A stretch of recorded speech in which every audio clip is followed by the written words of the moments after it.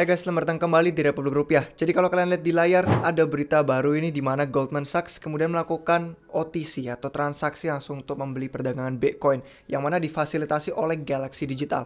Kalau kalian udah tahu soal Galaxy Digital, ini adalah salah satu Gila ini merupakan salah satu penyedia aliran dana yang cukup besar juga yang sudah lama di aliran pasar kripto.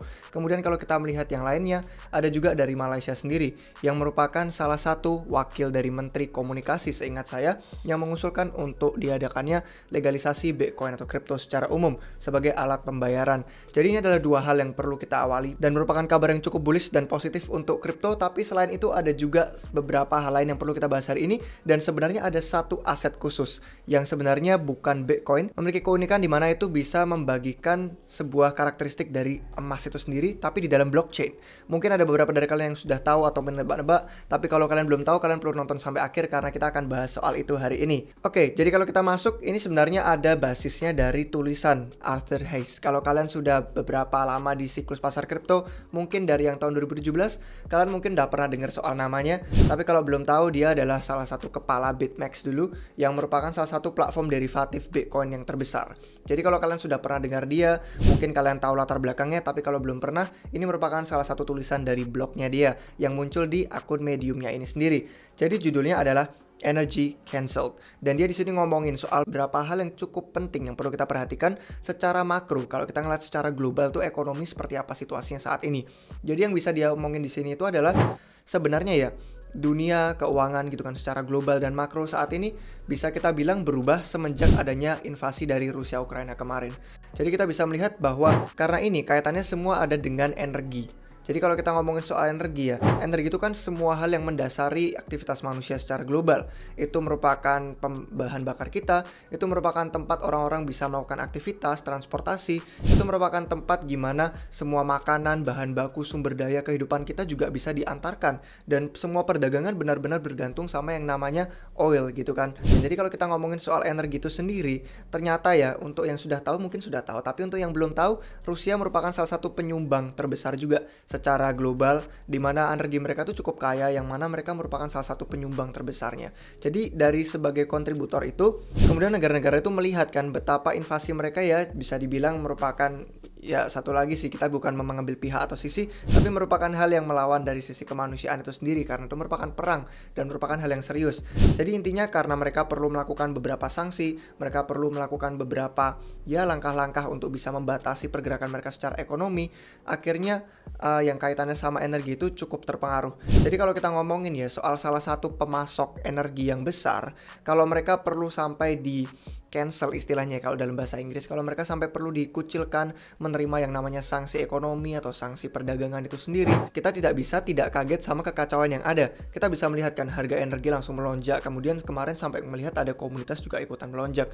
Tapi kalau kita melihat khususnya yang di Amerika Serikat itu sendiri harga minyak tuh benar-benar gila gitu kan atau bensin itu sendiri gas secara umum. Jadi kalau kita bisa melihat ya dampaknya cukup terasa. Dan akibatnya juga kalau waktu kita melihat nih karena energi ini di cancel gitu kan yang mana negara-negara besar seperti Amerika Serikat dan Uni Eropa yang kemudian merupakan denominasi uh, mata uang global di mana negara-negara itu kan perlu mata uang mereka ya untuk bisa berdagang gitu kan.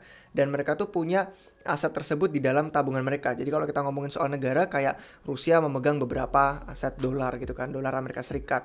Kemudian memegang beberapa euro gitu kan. Jadi kalau kita ngomongin soal denominasi dari aset-aset uh, negara yang adidaya ini sebenarnya ya kalau kita bisa bilang itu ya benar-benar dikontrol sama mereka gitu kan. Jadi kalau kita mau ngomongin ya karena mereka memiliki hak kuasa atas aset tersebut, kalau misalkan nih kayak Rusia itu kan semena-mena, terus mereka akhirnya bisa memberikan sanksi tersebut ke mereka dan sanksinya ini yang kemudian cukup merugikan secara ekonomi. Satu ya kalau misalkan kita ngomongin kayak Rusia itu kan sudah mulai beberapa saat terakhir ini mengumpulkan emas. Kemarin ada artikel yang saya baca bulan Januari awal tahun ini bahwa mereka ternyata memiliki lebih banyak emas di neraca tabungan mereka, di savings mereka gitu kan, daripada mereka memiliki aset dolar Amerika Serikat itu sendiri. Jadi kalau misalkan kita kayak tulisannya yang Arthur Hayes bilang di sini, kalau kita nggak menghitung emas, sekitar 12 triliun dolar savings yang dipegang oleh negara-negara di dunia itu sebenarnya adalah mata uang fiat dan mata uang fiat itu ya termasuk US dollar yang mana dolar Amerika Serikat. Jadi kalau kita ngomongin ya, tabungan negara-negara ini dalam dolar Amerika Serikat. Tapi kalau dipikirkan dolar Amerika Serikat tidak dipegang secara desentral, itu kan merupakan mata uang yang dipegang oleh Amerika Serikat sendiri. Mereka yang mengontrol sistem moneter fiskalnya seperti apa, dan jaringannya mereka ini karena terpusat, mereka butuh izin juga gitu kan. Butuh izin terpusat, jadi nggak bisa yang namanya orang yang memegang aset itu punya hak atas suara mereka. Jadi kalau dia bilang di sini Arthur Hayes itu bilangnya bagus banget. Dia bilang nih, kalau negara-negara pada nyimpan tabungan dalam bentuk dolar, Amerika yang mengontrol jaringannya. Kalau misalkan orang-orang mengumpulkan tabungan mereka dalam bentuk euro, ya Uni Eropa yang mengontrol jaringannya. Kemudian kalau kalian menyimpan dalam bentuk renminbi, ya Cina yang mengontrol jaringannya. Jadi kan kalau kita melihat dari mata uang itu kan betapa terpusatnya mereka gitu kan. Kalau kita ngeliatin dari si Rusia sendiri yang kemudian mengakumulasi lebih banyak emas, lebih banyak daripada dia memiliki dolar Amerika Serikat dalam tabungannya, itu merupakan hal yang cukup masuk akal gitu loh. Dan ini sebenarnya ya narasi yang bisa kita pasangkan untuk Bitcoin juga sebagai jaringan desentral yang tidak dimiliki oleh satu entitas terpusat. Di mana kalau kita mau ngomongin ini kan potensi ya, potensinya Bitcoin standar gitu kan untuk orang-orang yang khususnya percaya banget sama Bitcoin bahwa itu dapat menjadi potensinya sebagai aset cadangan global aset cadangan global yang mana kalau memang selama ribuan tahun terakhir ya kita sudah nyaman dengan emas orang-orang udah tahu dengan emas perusahaan-perusahaan tradisional dan entitas bank tradisional semua pada nyaman lah sama yang namanya emas.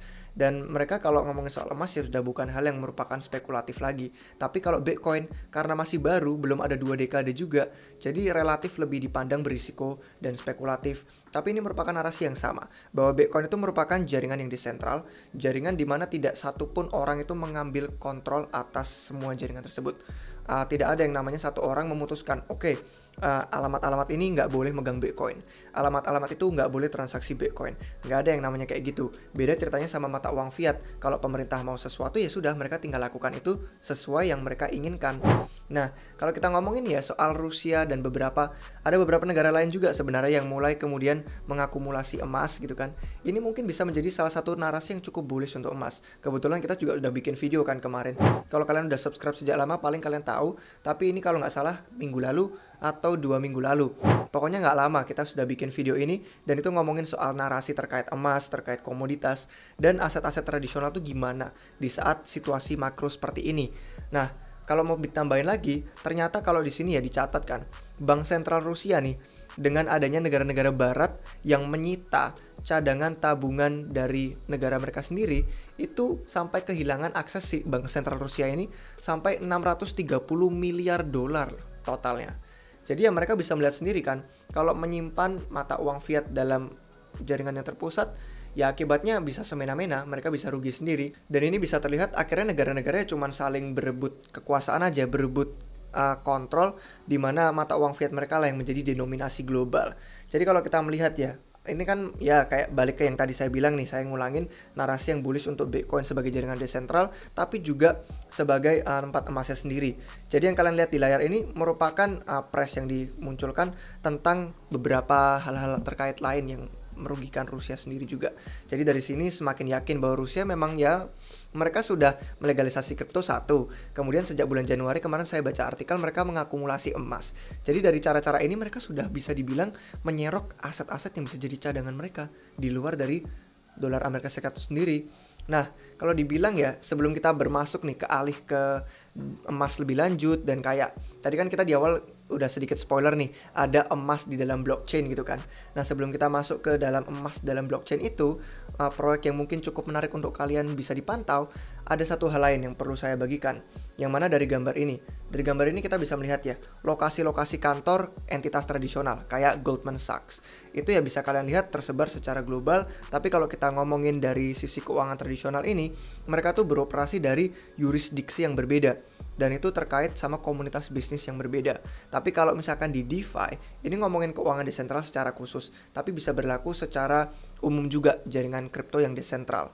Nah, itu ya pendekatan yang multi chain itu artinya beroperasi di beberapa blockchain berbeda, beberapa komunitas yang berbeda. Jadi ini merupakan hal yang merupakan pendekatan yang lebih bagus sih menurut kami di mana kita bisa melihat yang namanya kolaborasi dan kontribusi yang lebih luas lagi dari berbagai jaringan blockchain dari berbagai orang-orang berbakat dan talenta yang mana tidak terbatas oleh jurisdiksi aja mereka bisa saling membangun masa depan yang harapannya bisa jauh lebih baik. Karena kita semua memiliki kontrol orang-orang biasa seperti kalian dan saya investor retail semua punya kontrol dan kuasa. Bukan hanya bergantung sama entitas terpusat. Oke kalau itu udah paham mari kita masuk ke emas dalam blockchain tadi saya sebutin. Jadi mungkin banyak dari kalian sudah pernah dengar namanya dan mungkin ada beberapa yang belum atau mungkin udah pernah riset sampai mendalam banget. Jadi mungkin ada yang sudah meriset sampai dalam, mungkin kalian bisa bagikan lebih lengkap lagi nanti di komentar di bawah. Tapi untuk singkatnya, ini adalah Paxos. Jadi Paxos adalah institusi yang sudah terbangun sejak 2012 kalau saya tidak salah. Itu mereka sudah bertahun-tahun di secara tradisional tuh memiliki lisensi, memiliki izin. Mereka benar-benar patuh dengan legalisasi lah istilahnya.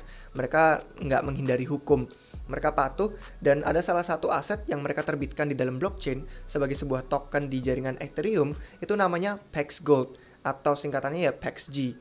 Nah, ini adalah aset yang didukung oleh emas. Dan kalau kita ngomongin emas, ini bukan hanya emas digital, didukung oleh emas fisik. Emas fisik yang batangannya disimpan di brankas yang ada di London. Jadi kalau kita melihat dari Pax Gold ini sendiri, mereka didukung oleh satu troy ounce gitu kan, emas yang ada di London. Dan ini ada brankasnya juga. Dan kalau kalian melihat dari websitenya itu sebenarnya kalian bisa mendapatkan cukup lumayan banyak informasi. Terutama kalau yang belajar dari sisi visual, harus ngeliat video. Ada videonya juga bagus, ada animasinya gitu kan, visualnya menunjukkan gimana nih yang namanya PAX-G itu benar-benar didukung oleh satu troy ounce-nya emas yang mana terus ada disimpan di dalam brankas terus nanti ada beberapa ya penjelasan lebih lanjut lah terkait gimana ini semua berjalan di dalam blockchain. Tapi yang menarik itu adalah mereka juga memiliki perbandingan di sini. Apa bedanya PAX Gold gitu kan dengan kalau kalian investasi emas yang secara tradisional yang bukan di kripto yang bukan di blockchain.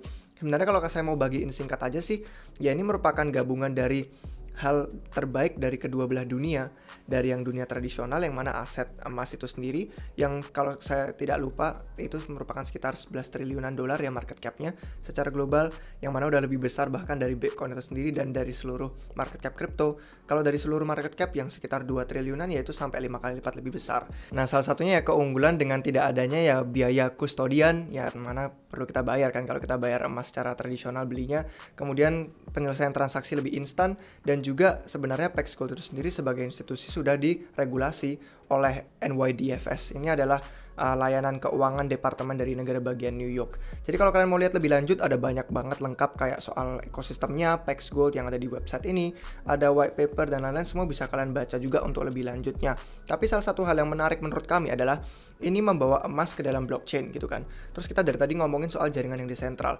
Dan kalau kita ngomongin soal emas yang dibawa ke blockchain ini, ini kan token Ethereum.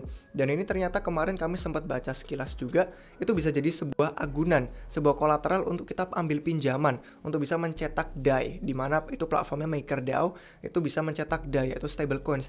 Jadi bayangin kalian punya aset emas gitu kan secara tradisional tapi bukan aset emas yang ribet yang harus bayar biaya non kustodian dan lain-lain, tapi emasnya di blockchain dan kalian bisa pakai DeFi gunakan emas itu sebagai kolateral. Dan kalau kita ngomongin ya soal kasus-kasus bullish yang tadi dibahas, semakin nilai dari aset emas itu sendiri semakin meningkat, maka nilai dari agunan kolateral kita sendiri pun semakin meningkat dan bisa mengambil pinjaman lebih banyak.